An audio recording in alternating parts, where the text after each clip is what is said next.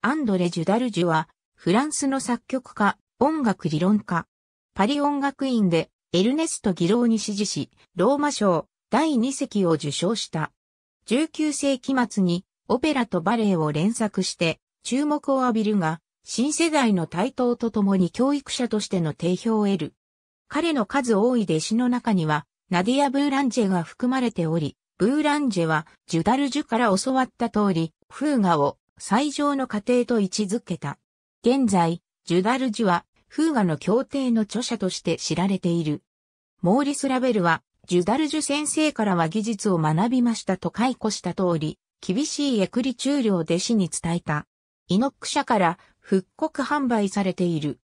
ルイジ・ケルビーニ先生は、大位法とフーガという名著を残されたが、実は先生の判例には若干の誤りがあり、私がそれを直しましたというコメントにあるように、実は大法の協定も残されていたが、長らく非売品であった。